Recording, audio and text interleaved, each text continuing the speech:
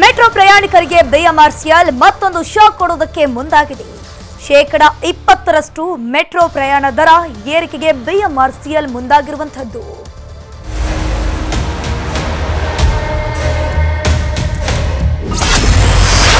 Metro ಪ್ರಯಾಣಿಕರಿಗೆ BMRCL shock ಶೀಘ್ರದಲ್ಲೇ metro ಪ್ರಯಾಣ ದರ ಏರಿಕೆ. ಬೆಂಗಳೂರಿನ ಪ್ರಮುಖ ಸಂಚಾರ ನಾಡಿ ಅಂದ್ರೆ ಅದು ನಮ್ಮ ಮೆಟ್ರೋ. ಇತ್ತೀಚೆಗೆ ನಗರದಾದ್ಯಂತ ತನ್ನ ವ್ಯಾಪ್ತಿ ವಿಸ್ತರಿಸುತ್ತಿರೋ ಮೆಟ್ರೋ ಇದೀಗ ದರ ಏರಿಕೆ ಶಾಕ್ ಕೊಡಲು ಮುಂದಾಗಿದೆ. ಮೆಟ್ರೋ ಶುರುವಾದ ಆರಂಭದಲ್ಲಿ ಅಂದ್ರೆ ಎರಡು ಸಾವಿರದ ಹನ್ನೊಂದರಲ್ಲಿ ಮೆಟ್ರೋ ರೈಲು ಪ್ರಯಾಣ ದರವನ್ನ ಏರಿಕೆ ಮಾಡಲಾಗಿತ್ತು. ಅದಾದ ಬಳಿಕ ಎರಡು ಸಾವಿರದ ಹದಿನೇಳರಲ್ಲಿ ಸರ್ಚಾರ್ಜ್ ಹೆಚ್ಚಳ ಮಾಡಲಾಗಿತ್ತು. ಇದೀಗ ಮೆಟ್ರೋ ಸಂಚಾರ ಮಾರ್ಗ ಹೆಚ್ಚಾಗಿದ್ದು, ಇದರ ಅನುಗುಣವಾಗಿ ಆಗ್ತಿರೋ ನಷ್ಟ ಸರಿದೂಗಿಸಲು ಶೇಕಡ ಹದಿನೈದರಿಂದ ಇಪ್ಪತ್ತರಷ್ಟು ಟಿಕೆಟ್ ದರ ಏರಿಕೆಗೆ ಮುಂದಾಗಿದೆ.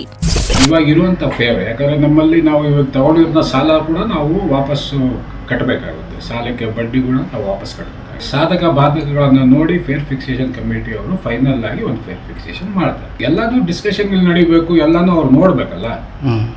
ನಮ್ಮಲ್ಲಿ ಆಗಿರುವಂಥ ಖರ್ಚುಗಳು ಅದಕ್ಕೆ ನಮಗೆ ಡಿಪ್ರಿಸಿಯೇಷನ್ ಎಷ್ಟು ಇರಬೇಕು ಇದೆಲ್ಲ ನೋಡ್ತಾರೆ. ಎಲ್ಲ ನೋಡಿ ಅದ್ರ ಮೇಲೆ ಪ್ರಸ್ತುತ ಮೆಟ್ರೋ ರೈಲು ದರ ಕನಿಷ್ಠ ಹತ್ತು ರೂಪಾಯಿ ಮತ್ತು ಗರಿಷ್ಠ ಅರವತ್ತು ರೂಪಾಯಿ ನಿಗದಿಪಡಿಸಲಾಗಿದೆ. ದರ ಏರಿಕೆ ಕುರಿತು ಜನರ ಅಭಿಪ್ರಾಯ ಸಂಗ್ರಹಕ್ಕೆ ಮುಂದಾಗಿದ್ದು, ಇದೇ ತಿಂಗಳ ಇಪ್ಪತ್ತೊಂದರ ಒಳಗೆ ಅಭಿಪ್ರಾಯ ನೀಡಬಹುದಾಗಿದೆ. ದರ ಏರಿಕೆ ಬಗ್ಗೆ ಕಮಿಟಿ ರಚನೆ ಆಗಿದ್ದು, ಒಂದು ಸಭೆ ಕೂಡ ಆಗಿದೆ. ಈ ಕಮಿಟಿ ಮೂರು ತಿಂಗಳ ಒಳಗಾಗಿ ವರದಿ ನೀಡಲಿದೆ. ದರ ಏರಿಕೆ ವಿಚಾರಕ್ಕೆ ಮೆಟ್ರೋ ಪ್ರಯಾಣಿಕರು ವಿರೋಧ ಕೂಡ ವ್ಯಕ್ತಪಡಿಸಿದ್ದಾರೆ. ಇವಾಗ ಬಂದು ಒಂದೊಂದು ಸ್ಟೇಷನ್ಗೆ seven point five eight rupees ಏನೋ ನಡೀತಾ ಇದೆ. ಯಾಕಂದರೆ ಜಾಸ್ತಿ ಮಾಡಿದ್ರೆ ತುಂಬ ಕಾಲೇಜ್ ಸ್ಟೂಡೆಂಟ್ಸ್ಗೆ ತೊಂದರೆ ಆಗುತ್ತೆ. ಅದಕ್ಕೋಸ್ಕರ ಯಾಕಂದರೆ ಇವಾಗ ಬಸ್ಸು ಫುಲ್ಲ ಫ್ರೀ ಬಿಟ್ಟಿದ್ದಾರೆ. ಅದರಿಂದ ತಿರ್ಗಾ ಅದನ್ನು ರಿಕವರಿ ಮಾಡ್ಕೊಳ್ಳೋಕೆ ಏನಾದರೂ ಮಾಡ್ತಿರ್ಬೋದೇನೋ. ಗೊತ್ತಿಲ್ಲ ಅದ್ರ ಬಗ್ಗೆ. ಒಟ್ಟಿನಲ್ಲಿ ಜಾಸ್ತಿ ಮಾಡಬಾರ್ದು ಅನ್ನೋದು ಅನಿಸಿಕೆ. ಇನ್ಫ್ಲೇಷನ್ ಇದ್ದಿದ್ದೆ ಡೇ ಬೈ ಡೇ ಇನ್ಕ್ರೀಸ್ ಆಗ್ತಾ ಹೋಗುತ್ತೆ. ಹಾಗಂತ ಈ ಥರ ಮಾಡೋ ತಪ್ಪು. ಸಾರ್ವಜನಿಕರ ಅಭಿಪ್ರಾಯ ಸಂಗ್ರಹ ಮಾಡಿ ಮೆಟ್ರೋ ದರ ಏರಿಕೆ ನಿರ್ಧರಿಸಲಿದೆ. ಈ ಬಾರಿ ಶೇಕಡ ಹದಿನೈದರಷ್ಟು ದರ ಏರಿಕೆ ಸಾಧ್ಯತೆ ಕೂಡ ಇದೆ. ಹಲವು ವರ್ಷಗಳಿಂದ ಏರಿಕೆ ಆಗದ ನಮ್ಮ ಮೆಟ್ರೋ ದರ ಕೂಡ ಈಗ ಹೆಚ್ಚಳ ಆಗಲಿದೆ. ಈಗಾಗಲೇ ಕಮಿಟಿನೂ ಕೂಡ ರಚನೆ ಆಗಿದ್ದು ಇನ್ನು ಮೂರು ತಿಂಗಳಲ್ಲಿ ನಮ್ಮ ಮೆಟ್ರೋದ ಪ್ರಯಾಣಿಕರಿಗೆ ದರ ಏರಿಕೆಯ ಬಿಸಿ ತಟ್ಟಲಿದೆ. ಬೆಂಗಳೂರಿಂದ ಶರಣು ಹಂಪಿ ನ್ಯೂಸ್ ಏಟಿ ಆತ ಹೊಟ್ಟೆಪಾಡಿಗಾಗಿ ಹುಟ್ಟೂರು ಬಿಟ್ಟು ಬೆಂಗಳೂರಿಗೆ ಕೆಲಸಕ್ಕೆ ಬಂದಿದ್ದ. ಕೆಲಸ ಅಂತ ಇದ್ದ ನಿತ್ಯ ಕುಡಿದು ಸ್ನೇಹಿತರ ಜೊತೆ ಕಿರಿಕ್ ಮಾಡ್ತಿದ್ದ. ಇದರಿಂದ ರೊಚ್ಚಿಗೆದ್ದ ಗೆಳೆಯರು ಸ್ನೇಹಿತನ ಪ್ರಾಣವನ್ನೇ ತೆಗೆದಿದ್ದಾರೆ.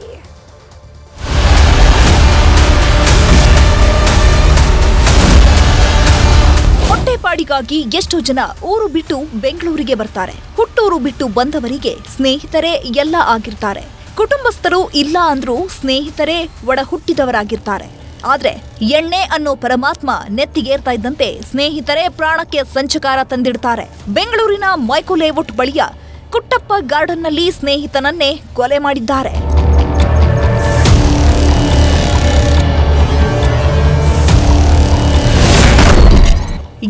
ಏಟಲ್ಲಿ ಗೆಳೆಯರ ನಡುವೆ ಕಿರಿಕ್. ದೊಣ್ಣೆಯಿಂದ ಹೊಡೆದು ಸ್ನೇಹಿತನ ಮರ್ಡರ್